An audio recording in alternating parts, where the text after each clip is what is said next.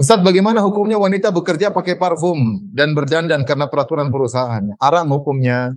Wanita tidak boleh pakai parfum. Kalau pakai parfum maka hanya sekedar yang dalam tubuhnya seperti mungkin hand body ataupun deodoran yang untuk menghilangkan bau putih. Adapun sampai keluar dicium oleh orang lain maka hukumnya haram. Ya, hukumnya haram.